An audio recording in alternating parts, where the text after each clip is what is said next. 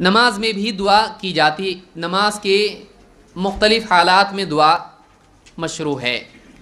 एक, तकबीर तहरीमा और क़रत के दरमियान। तकबीर तहरीमा, पहली तकबीर और उसके बाद जो क़रत होती है, उसके दरमियान दुआ है। कौन सी दुआ है? ये मशरू दुआ है, नबी सल्लल्लाहु अलैहि वसल्लम से साबित है और बहुत अच्छी दुआ है।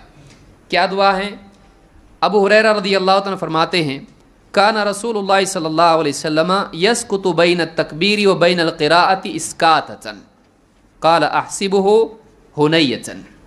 कहते हैं कि अल्लाह के रसूल सल्लल्लाहु अलैहि वसल्लम तकबीर और क़रत के दरमियान कुछ देर सुकूत फरमाते। फ़कुल तो भी अभी व उम्मी या रसूल अल्लाह मैंने कहा, मेरे माँ बाप आप पर फ़िदा अल्लाह के रसूल।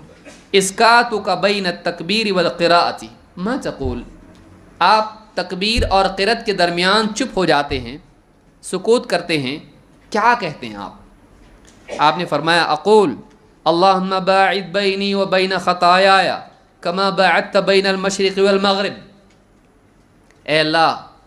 मेरे और मेरी ख़ताओं के दरमियान इतनी दूरी कर दें जैसी मशरक़ और मगरब के दरमियान दूरी है।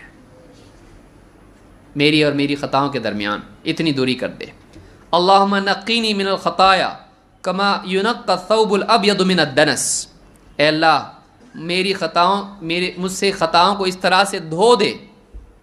मुझे ख़ताओं से इस तरह से पाक कर दे, जैसे एक सफ़ेद कपड़ा धोने से पाक हो जाता है, साफ़ सुथरा हो जाता है।